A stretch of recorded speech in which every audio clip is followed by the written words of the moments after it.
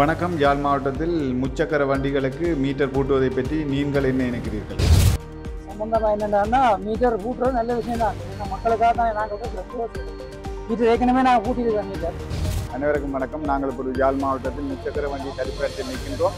முச்சக்கர வண்டியில் மீட்டர் பொருத்துவது தொடர்பான முச்சக்கர வண்டி சாரதிகளுடன் நாங்கள் ஒரு நேர்காணலோடு இணைகின்றோம். நிச்சயமாக அந்த முச்சக்கர வண்டி சாரதிகளினுடைய பதிவு என்னவாக மீட்டரை பற்றி கேட்குறீங்கன்னா ஓகேடா நாங்களும் வரவேற்கிறோம்.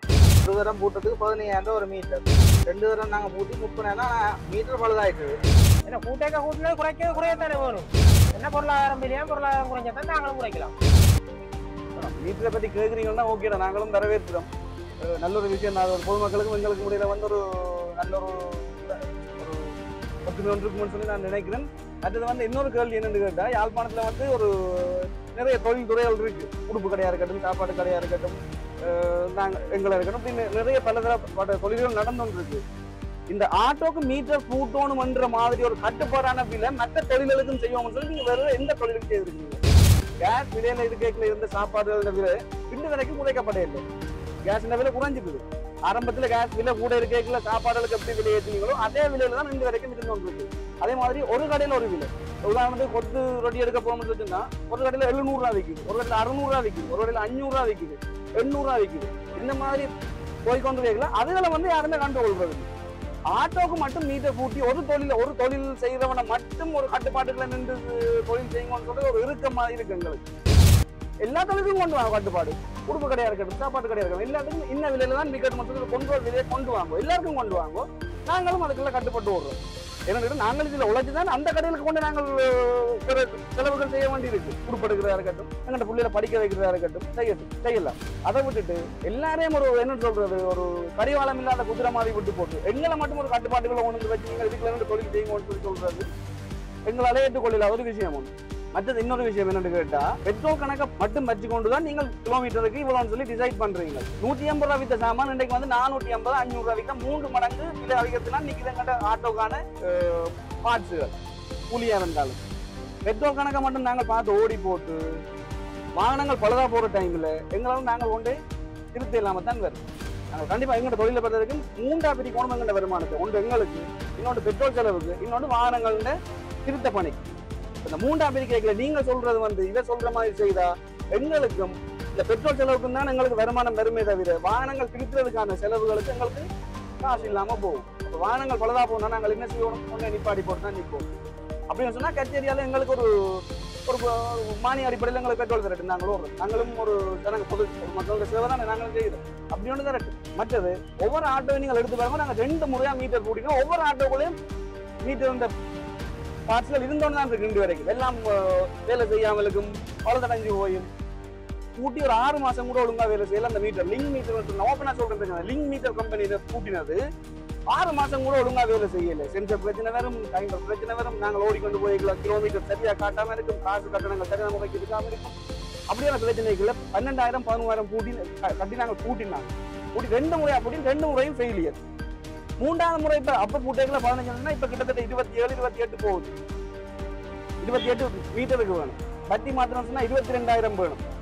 இனி அதுக்குள்ள பிளக்குகள் மாத்தி கிட்டத்தட்ட எங்களுக்கு அறுபது எழுபதாயிரம் வேணும். இப்ப மீட்டர் கூட்டி நாங்கள் கம்ப்ளீட்டா சேவையில ஈடுபடுறதா இருந்தா.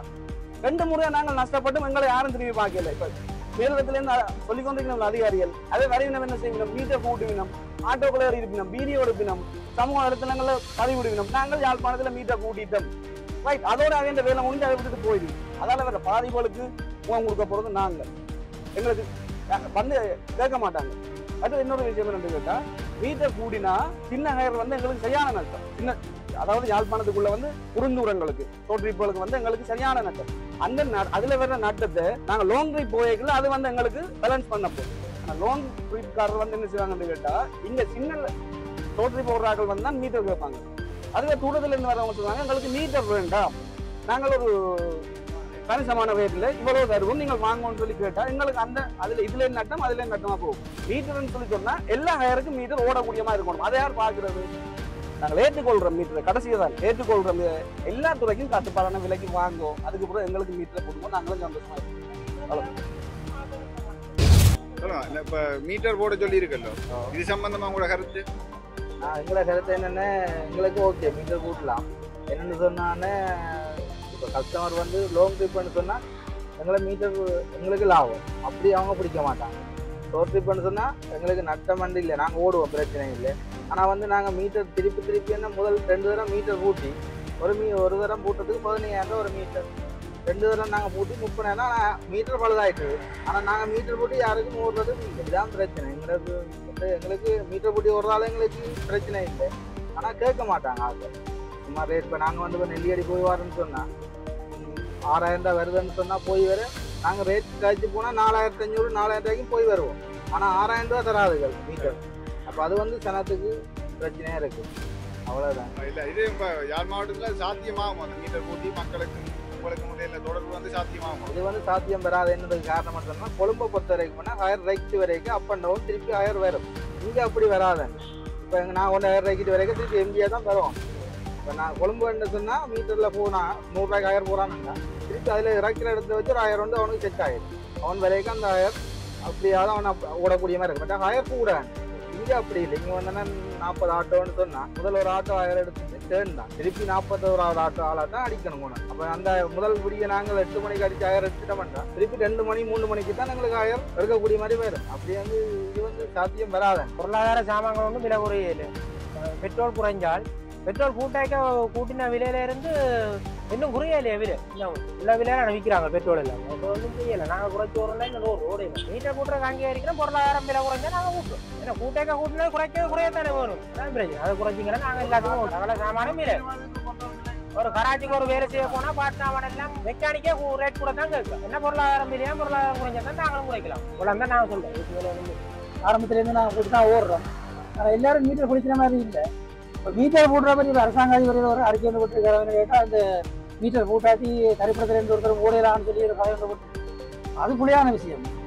மீட்டர் வந்து கடை கிலோமீட்டர் கணக்கு நீங்கள் இவ்வளவு வந்து நிர்ணயிங்க. ஒரு கிலோமீட்டருக்கு இவ்வளவு ஆரம்பத்துக்கு எவ்வளவு அடுத்தது எவ்வளோன்னு சொல்லி போட்டால் இப்போ ஃபோனில் எப்பெல்லாம் இருக்குது சில சில மீட்டர் கம்பெனியாக கரெக்டாக ப்ரெஷரால தான் இப்போ மீட்டர் போட்ட வண்டி சம்மந்தமாக வந்திருக்கு சந்தர்ப்பம். மீட்டர் நான் அப்படி போட்டல இரண்டாம் மீட்டர் போடணும் இப்போ இருபத்தேழாயிரம் முதல் நான் போட்டே பதினேழாயிரத்தி மீட்டர் இப்போ இருபத்தி ஏழாயிரம் மீட்டர் இப்போ மீட்டர் தனியாக மட்டும் போட்டுனா பரவாயில்ல வச்சு வேணும் அதுக்கு.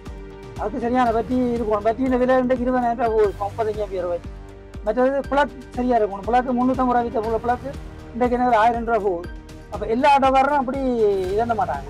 மீட்டர் எங்களுக்கு ஓகே மீட்டர் கிலோமீட்டர் கணக்கு யார் யாழ் மாவட்டத்தில் நாங்கள் சுற்றி சுற்றி ஓடணும்னு சொன்னால் முப்பத்தஞ்சு கிலோமீட்டர் நாற்பது கிலோமீட்டர் கடைசி இல்லை. அதுக்கு நாங்கள் ஓட மாட்டோம். இல்லைங்க அப்போ தெரியும் எங்களுக்கு ஓகே இப்போ ஹோண்டாவில் போகிறோம் ஹோண்டாயில் வந்து இப்போ ஹோப்பாச்சு வந்து எட்டு கிலோமீட்டர் ஓகே எண்ணூறுரூவா கூட இறக்கு வந்தாங்க. நூறுரூவா படி. இது சனத்துக்கு தெரியும் எல்லாம் இருக்குது இப்போ வீட்டை கம்பெனிக்காக பிரசவத்துக்கு நாங்கள் இதண்டியில் அதுக்கு அதுக்கு நாங்கள் இதண்டி எலக்ட்ரா கரிப்புறத்துல இருந்து நாங்கள் நாங்கள் வெத்திர ஜோலி செய்கிறோம் இதை நம்பி தான் எங்களோட குடும்பங்களும் இருக்குது பட்சம் தெரியும் இப்போ இந்த வாழ்க்கையில் ஒரு நாளைக்கு ஐயாயிரம் காணாது அரசாங்க உத்தியோகாரம் வந்து இரவில் வந்து பிடிக்கணும்னு சொன்னால் இரவு ரெண்டு ஓடுறவன் அது வேறு விஷயம் சில பேர் என்ன பிரச்சனை அரசாங்க உத்தியோகம் ஒரு சில பேர் இதால தான் அது வந்து ஆயிரம் பிடிச்சி போட்டு அவங்க நூறுரூவா இருநூறுவா கூட கேட்குறாங்கன்னு இரவில் ட்ரெயினில் கிடக்குறவங்க கேட்பாங்க ஏன்னா இப்போ ஊருக்கு இருந்து ஆயிரம் விடுறவங்க வேறு நாங்கள் இதில் ட்ரெயின் அப்போ இப்போ உதாரணத்துக்கு குருநாடு பாருங்க குருநாடுக்குள்ள காலத்தோடு செய்தி போட்டு வந்தால் ஆட்டோ விடுறான் ரெண்டு ரூபாய் செய்து தான் ஆட்டோ ஓடிக்கும் நாங்களும் அப்படி இல்லை. காலை வந்து இதில் ட்ரெயின் கிடைச்சா சாப்பாடு இல்லை மூத்துறது இல்லை கப்பு எல்லாம் நிற்கா இதெல்லாம் நிற்கிறோம் எங்களால் எங்களுக்குமே காலை ப்ரெஷர் எல்லாம் வந்து வேதனை இந்த இடத்துல வேதனை மக்களுக்கு தெரியாது. என்ன ட்ரெயினுக்கு நாங்கள் அடிச்சு ரொட்டேஷனில் ஒரு ஒரு ஆட்டோ போச்சுன்னா அப்புறம் அதுக்கு அப்புறம் வந்து அந்த அவர் போய் வந்து அடுத்த ஆட்டோ பதிக்கணும் அப்போ நாங்கள் கேட்குறேன் எங்கள் ஐம்பது நூறுரூவா கூட கேட்கணும் சொல்லி நூறுரூவா கூட கேட்கணும் ஐம்பது ரூபா கூட கேட்கணும் கொண்டு அது நிலப்பாடை புரியும் நீங்கள் இருபது இருந்து அவன் அஞ்சூறுவாய்க்கு வரான் நீங்கள் அஞ்சூறுவாய்க்கு வரீங்கன்னு கேட்க நாங்கள் டவுனுக்கு சிட்டியில் முனிசிபலுக்கு ஐம்பது ரூபா கட்டுறோம். சந்தத்துக்கு நூற்றி ஐம்பது ரூபா கட்டுறோம். சரியா? ஆட்டோ அதுக்காக சொல்லல விரிவாளக காணி என்ன விலை யாழ்ப்பாணத்தில் காணி என்ன? யாழ்ப்பாணத்தில் கரவாடை என்ன இருபத்தி அதை யோசிக்கிறீங்களா தானே நீங்கள் வந்தோடனே அவன் அங்கேருந்து வரேன் நீங்கள் ஏன் பாருங்க. அவன் தோட்டத்தில் வேலை செய்து போட்டு ஆட்டோ எடுத்து வச்சுட்டு வரான். அவன் கடத்தொழில் செய்து போட்டு ஆட்டோ எடுத்து வச்சுட்டு ரெண்டு வேலை செய்யலாம். நாங்கள் இதுதான் சொல்லி. என்ன டவுனுக்கு வச்சு ஒரு ஆட்டோக்காரன் இல்லை பாட்டு அதனால மீட்டர் நான் கூட சொல்லி. மீட்டர் இருந்தால் இல்லை மக்களுக்கு இல்லை மீட்டர் வர இல்லை. ஆனால் கட்டாயம் மீட்டராக போட்டிக்க கூட ஒன்று மட்டும் இல்லை கிலோமீட்டர் கணக்கு சந்தைக்கு தெரியும் அரசாங்கம் அதிகாரம் போடணும். எது? கிலோமீட்டர் ஒரு கிலோமீட்டருக்கு எவ்வளோ ஆரம்பம் எவ்வளோ நூற்றி ஐம்பது அடுத்தது நூறு. போடுங்க. இப்போ கொழும்பாயிரம் இது ரேட்டுக்கு வந்து நாங்கள் இங்கே ஓடிடலாம் இல்லைங்க இப்போ பெட்ரோல் விலை வந்து இங்கே பத்து ரூபா விலை கூடி கிடக்கு. இப்போ கொழும்புன்ற விலைக்கு நாங்கள் இங்கே ஆட்டோ ஓடவே இல்லை. கொழும்பு ரேட்டுக்கு இங்கே கடைசி வரையும் ஓடிடலாம் ஏன்னா அங்கே சாமான் இல்லை அங்கே ஒரு விலை இங்கே ஒரு விலை. டிரான்ஸ்போர்ட் கூலியன்னு அப்படி எடுக்கிறாங்க? எங்களுக்கு டயர் ரெண்டாயிரத்தி இருநூறு டயர் இன்றைக்கு நாலாயிரத்தி தொள்ளாயிரம் டயர் பெட்ரோலை மட்டும் குறைச்சி போட்டு நீங்கள் குறைச்சி ஓடுங்க குறைச்சி ஓடுங்க சரிப்படுது ஆனால் மீட்டரில் மீட்டர் படி அரசாங்கம் கூட பிரச்சனை இல்லை. எங்களுக்கு கிலோமீட்டர் ஸ்டார்ட்டுக்கு நூற்றி ஐம்பது அடுத்த நூறு இருந்தால் கிலோமீட்டர் நூறு அப்படியே நாங்கள் ஓடுவோம். எங்கேயும் இருக்கும். மக்கள் எல்லாருக்கும் தெரியும். மாணி பேத்தின கிலோமீட்டர் அதே தெரியும் ஷோர்ட் கட்டுக்கு தான் பிரச்சனை. நாங்கள் டெய்லேண்ட் ஓடுறது தான். ஷோர்ட் கட்டு டவுன் காலை இறங்கி நூறுரூவா முந்நூறுவா இருபத்தம்பது ரூபா வாங்குறோம். சரி ஓகே அப்படின்னு சொல்லி வந்து அரசாங்கம் இது மாதிரி சட்டப்படி வந்துருக்குன்னா நாங்கள் எல்லாரும் ஒத்தே தானே ஒத்து நாங்கள் ஓடுவோம். சரி அதான் பிரச்சனை.